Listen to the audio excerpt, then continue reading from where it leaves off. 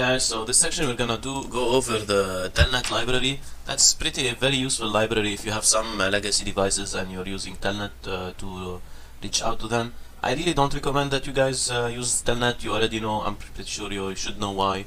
It's uh, in clear text. And in case you have some equipments that are using Telnet, don't use the same uh, credentials for those devices as your SSH devices or use your own Active Directory or LDAP credentials to reach them because like all your credential is passing through it uh, in clear text. Alright, so first we're gonna start by importing the library, it's called telnetlib. Okay, then we're gonna specify the IP of the device, so um, so let's not do that, let's just uh, call it, so telnetlib.telnet you should give it the, the values in binary, alright?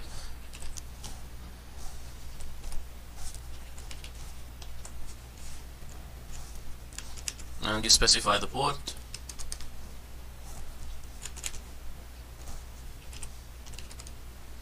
Okay, so the first thing you connect to the device, it's gonna ask you, like, it's ask you for a username. So you set, you specify for the for the uh, telnet session to to wait till it gets the, the username uh, prompt so username so when I get the username prompt I uh, please uh, so this is tn read until and then we need to send some information. So we need to send the username alright so tn dot write alright so this is here I called it tn you can call it whatever you want just uh, so we're calling the session list so here we want to send like uh, so I'm gonna do it in a different way. I'll say uh, Cisco and here I specify. So this is a string and I want to decode uh, encode it as ASCII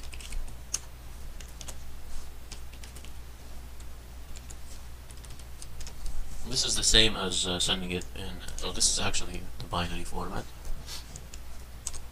Alright, so then we're gonna do just for I'm somewhat lazy, don't wanna write the whole thing again. Here is we're waiting for the password. And then we are sending it sending the password. And then let's uh, request like for the show run so. Alright so let's do that. And here first I'm gonna do terminal length 0 because to get all the outputs till the end and then show run.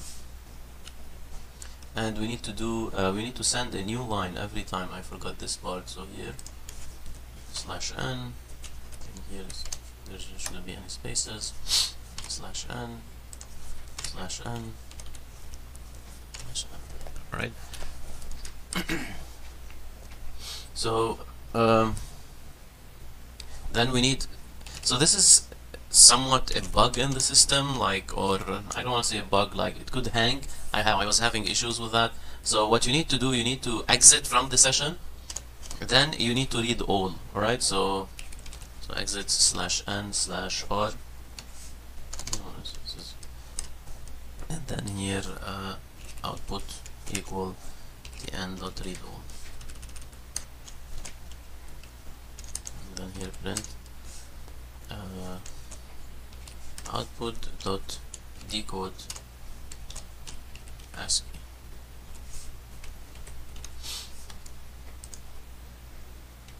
Right, so we got the show run from the device. Uh, the, what, I was what I was trying to say, like, if you don't exit the session, this will hang. It will not work. It will. Uh, it won't give you any outputs. It will just hang. What you can do, what you, uh, okay, what you can do is, if you do here, just to, if you want to see what's happening, just do. You can print. So read until is just uh, waiting for this output and assigning it to the variable t right so oh and we need to close the session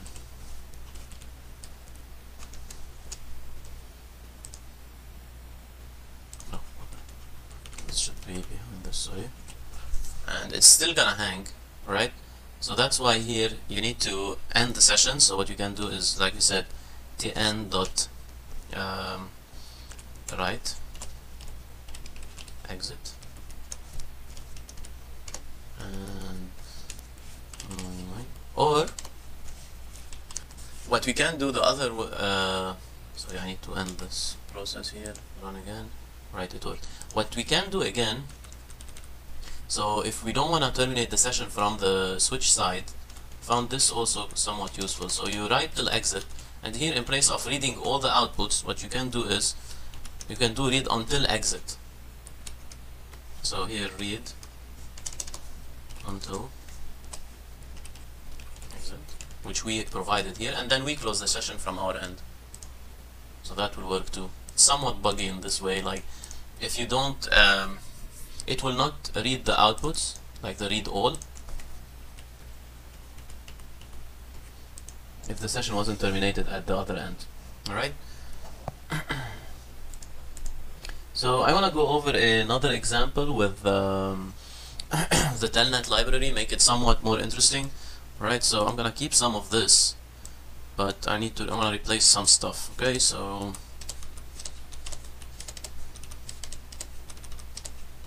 alright let's start. So first let's do telnet.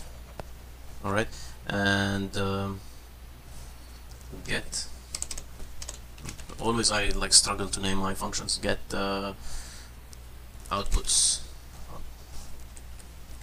Alright and what we're gonna get uh, what we're gonna here provide is the host name uh, username password uh, enable password. And uh, show list. Okay. So first thing we're gonna copy this. And here we just provide the host name. And we uh, encode it encode is correct yes encode ASCII and we're gonna use the port 23 um, we're gonna use the same thing here. Read until. Right but we need to replace some stuff.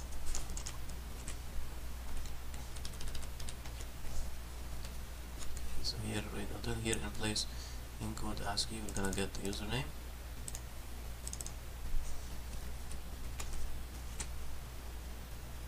sorry should remove it from the list and we need to add here at the end in binary format new line. Right so this is the password read until also here password and also send a new line. Okay so now what we need to do is um, so we need to check if there's an enable password. So if enable password. So if you provide we provide the script in enable password we need to go into uh, the exec mode. So if enable password read until so um, 30 okay and um, end dot write. N slash n and uh, okay so we're in enable mode. Oh no we need to uh, also read until password. And read until password. Then also we need to write. Enable password. And then now we're in exec mode. Alright the second thing we need to do here we need to uh, dot write like we did before. We need to do terminal length 0 slash n and for i in uh, show list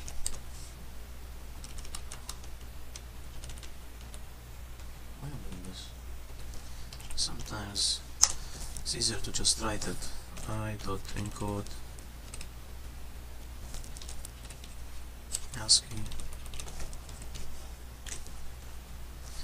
Plus n we're gonna terminate the whole thing by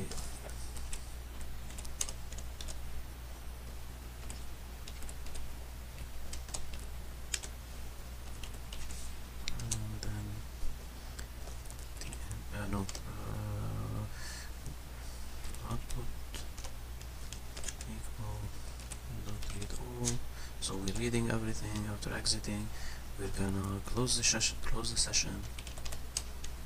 And then we're gonna return uh, okay.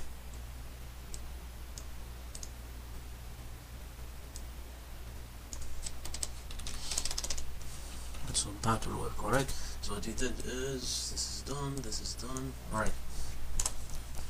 So let's try it. So first we print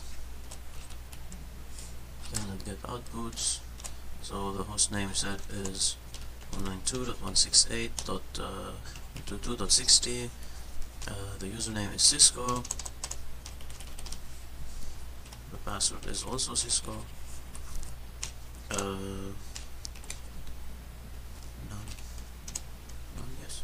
So there's no enabled password and here we're gonna uh, the list is show IP sorry this should be a string show IP interface brief. Comma uh, show I don't know show process memory. And uh, show run. Do you think we're gonna get an error? It's gonna work. Hmm. it actually worked but it's messed up because here I need to return it dot ASCII will that work or I should put in a string? Never forgot if uh, it should always be in string. Because like the text editor was like directly hmm, it worked alright. So this is a cool way for using the telnet uh, uh, library. If you want to do something like um, you want to do configuration it's gonna be like uh, the same concept you just go into conft and then perform whatever configuration you want to do. Uh, and like I really really don't recommend you guys anybody still that is still using telnet to still use it. Okay? Uh, see you in the next section